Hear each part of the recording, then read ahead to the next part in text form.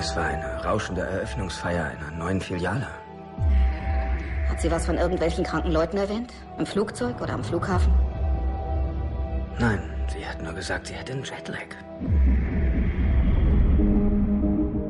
Der Mensch berührt sein Gesicht im Durchschnitt pro Minute drei bis fünf Mal.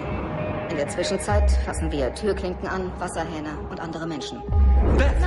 Nein, nein, geh rauf in dein Zimmer, Schatz. Wir haben also ein Virus und haben weder einen Behandlungsplan noch einen Impfstoff. Diese Krämpfe heute früh, hatten Sie das schon Hat mal? sie öfter Krampfanfälle? Nein, nein, nein. Allergien? Seit gestern Abend 32 Fälle. Sie ist leider gestorben. Okay. D darf ich denn jetzt mit ihr reden? Mr. Emhoff, Ihre Frau ist tot.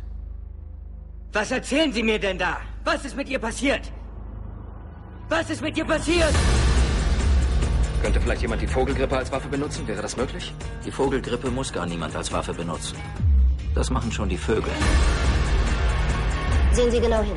So überträgt es sich. Die Frage ist nur noch, in welche Richtung. An Tag 1 waren es zwei Menschen, danach vier und danach 16. In drei Monaten sind es eine Milliarde. Darauf scheinen wir zuzusteuern. Sie berufen die Nationalgarde ein, verschanzen den Präsidenten. Es gibt eine Massenpanik.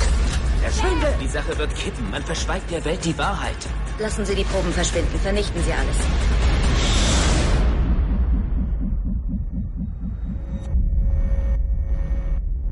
Hallo.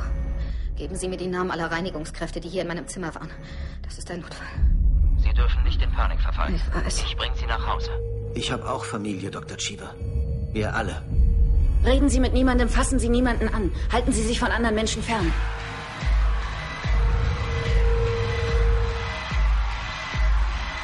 Steigen Sie in Ihr Auto! Wir sind nicht krank! Es erforscht uns schneller, als wir es erforschen. Es mutiert.